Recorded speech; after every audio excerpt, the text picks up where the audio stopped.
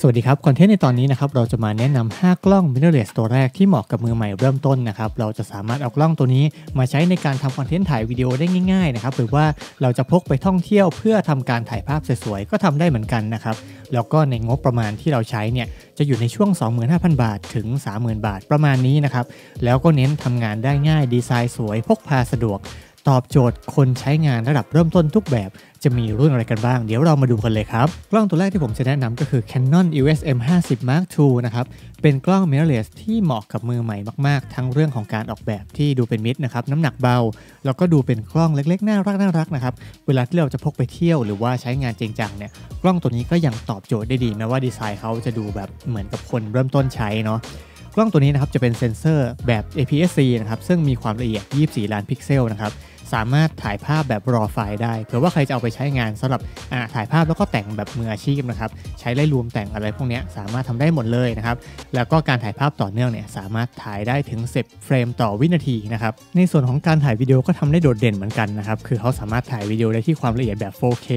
ซึ่งเพียงพอสำหรับการทำคอนเทนต์ในปัจจุบันนะครับแล้วก็ตัวกล้องเนี่ยยังรองรับการต่อไมโครโฟนแยกจากภายนอกด้วยนะครับเผื่อว่าใครต้องการถ่ายวิดีโอแล้วบันทึกเสียงไปด้วยเนี่ยกล้องตัวนี้สามารถอัปเกรดไมค์แยกได้เลยนะครับจุดเด่นที่น่าสนใจมากๆอีกอย่างหนึ่งก็คือกล้องตัวนี้มีระบบโฟกัสที่แบบติดตามใบหน้าแล้วก็ดวงตานะครับส่วนระบบกันสั่นเนี่ยเป็นแบบดิจิตอลแล้วก็มีหน้าจอพับสามารถ touchscreen ได้ ซึ่งกล้องตัวนี้ทุกอย่างที่เขาดีไซน์มาเนี่ยเน้นตอบโจทย์คนที่เป็นมือใหม่เริ่มต้นโดยเฉพาะเลย ใช้งานง่าย ราคาก็ไม่สูงนะครับซึ่งราคากล้องตัวนี้อยู่ที่ 24,990บาท อันนี้คือราคาเต็มนะครับ แต่ถ้าเกิดว่าราคาในงานกล้องต่างๆเนี่ย ราคามันจะถูกลงไปเยอะกว่านี้อีกแนะนำให้ดูช่วงโปรโมชั่นดีๆไว้เลยครับ เรามาถึงกล้องตัวที่2นะครับ จะเป็นกล้อง Panasonic Lumix G100 นะครับ ที่แนะนำกล้องตัวนี้ก็คือ Panasonic เก่งเรื่องการทำกล้องวิดีโอมากนะครับ เพราะว่าเขาทำมาแต่ไหนแต่ไรแล้ว แล้วก็ไม่ค่อยกั๊กสเปคเรื่องของการถ่ายวิดีโอ กล้องตัวนี้จะมีขนาดเล็กมากนะครับ แล้วก็ใช้เซนเซอร์แบบ Micro Four Thirds ซึ่งจุดเด่นก็คือ system มันเล็กนะครับ เซนเซอร์มันไม่ได้ใหญ่ขนาด APS-C แต่ว่ามันสามารถทำงานได้รวดเร็วนะครับ ละลายหลังสวย แล้วก็เวลาโฟกัสอะไรเนี่ยมันทำได้เร็วมากน้ำหนักเบาด้วยนะครับ ความละเอียดเซนเซอร์เนี่ยอยู่ที่ 20 ล้านพิกเซลตัวกล้องเนี่ยสามารถรองรับการถ่ายภาพแบบ RAW file ได้แน่นอนนะครับ แล้วก็สามารถ ถ่ายภาพต่อเนื่องได้ถึง 10 เฟรมต่อวินาทีเลย ทั้งหมดในการถ่ายภาพนิ่งแล้วก็วิดีโอเนี่ยจะมีระบบโฟกัสเพื่อจับใบหน้านะครับ แล้วก็มีระบบกันสั่นแบบ Hybrid AF นะครับ ซึ่งเวลาที่ทำงานร่วมกับเลนส์เนี่ยก็จะนิ่งขึ้นไปอีก ในการถ่ายวิดีโอก็คือสามารถถ่ายวิดีโอที่ความละเอียด 4K ได้แบบเต็มที่เลย ซึ่งก็ตอบโจทย์คนทำงานสายคอนเทนต์แน่นอน ที่โดดเด่นมากๆก็คือ Panasonic เนี่ยเขาจะมีโหมดเกี่ยวกับเทคโนโลยี 4K ค่อนข้างเยอะ อย่างเช่นการถ่าย time lapse หรือว่าลูกเล่นอื่นๆสำหรับวิดีโอ ซึ่งมันทำให้ง่ายต่อคนที่แบบเน้นการถ่ายวิดีโออยู่แล้ว ผมแนะนำว่าใช้กล้อง Panasonic เนี่ยจะค่อนข้างตอบโจทย์นะครับแล้วก็ที่พิเศษไปกว่านั้นนะครับรุ่นนี้เขาได้เทคโนโลยีจากโนเกียนะครับเรียกว่า Oso Audio นะครับซึ่งเป็นระบบที่ทำให้ไมโครโฟนของตัว Panasonic ในกล้องรุ่นนี้สามารถปรับทิศทางการรับเสียงได้ เราจะรับแบบ surround ก็ได้ หรือว่ารับเฉพาะด้านหน้าด้านหลังด้านข้างอะไรเงี้ย เราสามารถที่จะปรับได้จาก system ตรงนี้นะครับ ซึ่งความสามารถนี้ปกติจะอยู่ในไมโครโฟนระดับแบบหลักหมื่นเลย แต่ว่า Panasonic เนี่ยได้ใส่ความสามารถนี้ไว้ในกล้องตัวนี้เพื่อให้เราใช้งานได้ทันทีนะครับ ถือว่าดีมาก ราคากล้อง Panasonic Lumix G100 นะครับจะอยู่ช่วง 20,000 บาทนะครับ มันมีหลายเซต ซึ่งมันจะมีราคาทั้งถูกกว่านี้ ราคาประมาณนี้ แล้วก็ราคาสูงกว่านี้อีกนิดหน่อยแล้วแต่เลนส์ที่เราเลือกนะครับ แต่ว่าแนะนำให้ดูช่วงโปรโมชั่น เพราะว่าช่วงโปรเนี่ยราคากล้องพานาจะราคาแบบค่อนข้างดีมากๆ แล้วก็สามารถที่จะได้ของแถมเยอะ อันนี้แนะนำว่าต้องลองดูตามงาน หรือตามช่วงเทศกาลพิเศษครับเรามาถึงกล้องตัวที่ 3 ที่ผมจะแนะนำมาจากค่าย Fujifilm ครับในรุ่น XS10 นะครับซึ่งเป็นกล้อง mirrorless มือใหม่ที่ผมรู้สึกว่าทำได้ดี น่าใช้งานทั้งภาพนิ่ง แล้วก็งานวิดีโอ โดยรุ่นนี้การออกแบบจะเป็นสไตล์ฟูจิฟิล์มมากๆคือเน้นแนวเรโทรนะครับเวลาที่พกพาเนี่ยมันก็ดูสวยดูเท่ถ่ายภาพก็ทำได้ดีถ่ายวิดีโอก็เจ๋งนะครับเซนเซอร์กล้องตัวนี้จะเป็นขนาด APS-C นะครับแล้วก็มีความละเอียดอยู่ที่ 26 ล้านพิกเซล ซึ่งถือว่าจัดเต็มมากๆ แล้วก็ถ่ายภาพต่อเนื่องได้ถึงึง 8 เฟรมต่อวินาที ซึ่งเป็นแบบ mechanic นะ แต่ถ้าเกิดว่าเราปรับการถ่ายภาพเป็นแบบอิเล็กทรอนิกส์สามารถถ่ายภาพต่อเนื่องได้เป็น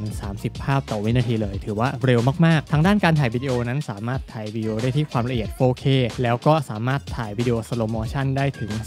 240 เฟรมด้วยกัน คือ slow motion สวยมาก ๆ นะครับ แล้วก็ bitrate กล้องตัวนี้ทำได้เยอะคือ 200 เมกะบิตทำให้เนื้อไฟล์วิดีโอเนี่ยสวยเหมาะกับการเอาไปทำสี grading ทำได้ดีมากๆนะครับกล้องฟูจิฟิล์มเนี่ยจะมีฟีเจอร์ที่โดดเด่นอีกอย่างหนึ่งก็คือ film simulation นะครับสามารถปรับโทนสีฟิล์มเนี่ยใช้ได้ทั้งภาพนิ่ง แล้วก็วิดีโอโดยที่มันจบในกล้องเลย ซึ่งกล้องตัวนี้จุดขายเด่นๆ เลยคือเรื่องของ film simulation นี่แหละ ถ้าอยากได้โทนฟิล์มนะต้องเป็นแบรนด์ฟูจิฟิล์มนะครับในส่วนของระบบกันสั่นเนี่ยมีระบบกันสั่นแบบ 5 แกนทำได้นิ่งมากนะครับแล้วก็ระบบโฟกัสเนี่ยจะเป็นระบบติดตามใบหน้าแล้วก็ดวงตานะครับซึ่งเป็นกล้องสำหรับมือใหม่ที่จัดเต็มมากๆเนี่ยเกือบจะเป็นกล้องโปรอยู่แล้วนะครับอีกนิดเดียวเท่านั้นเอง ราคากล้องฟูจิฟิล์ม XS10 นะครับจะอยู่ที่ 34,990 บาท ราคาจะแอบสูงกว่าที่ผมตั้งไว้ขึ้นมานิดหน่อยนะครับเพราะว่าฟีเจอร์จัดเต็มเขาก็เลยเน้นแบบราคาอาจจะสูงขึ้นมานิดนึง แต่ผมแนะนำว่ารุ่นนี้มันค่อนข้างคุ้มถ้าใครอยากจะไปได้ไกลๆ หรือว่าเน้นเรื่องโทนฟิล์มดีไซน์สวยตัวนี้จบครับกล้องตัวที่สีที่ผมจะแนะนำเนี่ยเป็นตัวที่ผมชอบที่สุดในบรรดาที่ผมพูดมานะครับก็คือ Sony CBE10 เป็นกล้อง mirrorless sensor APS-C ที่ถูกพัฒนามาจากตัวแรกที่เป็น compact เป็น CV1 แล้วก็ได้รับการตอบรับที่ค่อนข้างดีมากๆนะครับจนมาเป็นรุ่นเซนเซอร์ IPS-C ที่ใช้งานแทบจะง่ายที่สุดณเวลานี้เลยนะครับ ความละเอียดเซนเซอร์ตัวนี้จะอยู่ที่ 24.2 ล้านพิกเซล ก็คือตอบโจทย์การถ่ายภาพทุกแบบ แล้วก็ถ่ายภาพต่อเนื่องได้ถึง 11 ภาพต่อวินาทีเหมือนกล้องโปรเลย ในการถ่ายวิดีโอนะครับ สามารถถ่ายความละเอียดได้ที่ 4K มีระบบโฟกัส tracking ใบหน้าและดวงตาเหมือนกล้องโปรทั้งหมดนะครับ มีโปรไฟล์สีในการถ่ายวิดีโอแบบ Sony HLG S-Log แบบกล้องมืออาชีพทุกอย่างของรุ่นพี่เขาทำได้ ตัวนี้ทำได้ทั้งหมดเหมือนกันฟีเจอร์ที่เด่นที่นอกเหนือจากตัวอื่นนะถูกยกมาจาก C1 นะครับตัวนี้ก็คือฟีเจอร์ Product Showcase ครับคือความสามารถในการโฟกัสตัวสินค้า ถ้าเราหยิบตัวสินค้าขึ้นมานะครับตัวกล้องจะโฟกัสตัวอะ Product ที่เราถือโดยอัตโนมัติทำให้คนที่ทำคอนเทนต์ประเภทรีวิวยูทูบเบอร์หรือว่าจะเป็นบล็อกเกอร์ที่เน้นการรีวิวอะไรก็ตามที่หยิบของขึ้นมานะ ตัวกล้องเนี่ยจะโฟกัสที่สินค้าให้เลย แล้วมันโฟกัสแม่นมาก ทำให้คนทำคอนเทนต์นะครับ สามารถใช้สมาธิไปกับการนำเสนอ Product หรือว่าการพูดได้อย่างเต็มที่เลย แล้วก็มีความมั่นใจในการทำงานคนเดียวด้วยครับสำหรับกล้องตัวนี้นะครับ Sony CB E10 ราคา 23,990 บาท กล้องตัวนี้ตอบโจทย์มากนะ ตั้งแต่เปิดตัวมาเนี่ย ตอนนี้ของยังขาดตลาดอยู่นะครับ ถ้ามีจังหวะซื้อแล้วก็ชอบแบรนด์ Sony อยู่แล้ว แนะนำว่าลองดูตัวนี้จะไม่เสียใจในการเลือกกล้องมาใช้ครับ เพราะว่าใช้งานง่ายมากๆ เหมาะกับคนเริ่มต้นนะครับ แล้วก็ช่วงโปรเนี่ย ก็จะมี offer จาก Sony เยอะกว่านี้ครับ กล้องที่ 5 ตัวสุดท้ายนะครับ รุ่นนี้แอบออกมานานแล้ว แต่ยังน่าใช้งานอยู่กับ Olympus OM-D E-M10 Mark III ครับ กล้องตัวนี้ทำได้ดีมากสำหรับการถ่ายภาพนิ่ง แล้วก็การถ่ายวิดีโอ ซึ่งรุ่นนี้ออกมาเนี่ยก็ได้รับความนิยมตั้งแต่เริ่มต้นเลยทั้งภาพนิ่งแล้วก็วิดีโอนะครับ จุดเด่นเนี่ยคือ body ของเขาเนี่ยมีการออกแบบให้ดีไซน์เป็นเรโทรนะครับดูย้อนยุคปุ่มฟังก์ชันต่างๆเนี่ยมันเยอะเหมือนกล้องใหญ่เลย คือคนที่ใช้กล้องใหญ่มามาใช้กล้องรุ่นนี้จะสามารถใช้ได้ถนัดแล้วก็แบบเรียกได้ว่าปรับค่าต่างๆ ได้รวดเร็วเซนเซอร์กล้องตัวนี้จะมีขนาดเป็น Micro Four Thirds นะครับความละเอียด 16 ล้านพิกเซล อาจจะน้อยลงหน่อยเมื่อเทียบกับกล้องในปัจจุบันนะครับ มีระบบการสั่น 5 แกน การโฟกัสทำได้รวดเร็วแม่นยำแล้วก็รองรับการถ่ายวิดีโอแบบ 4K กล้องตัวนี้เหมาะกับคนเริ่มต้นที่งบอาจจะไม่สูงมากนะครับ แต่อยากให้ได้กล้องที่ทำได้ครบเครื่องเนี่ยผมก็เลยแนะนำกล้องตัวนี้ แนะนำว่าให้ดูกล้องตัวนี้เป็นตัว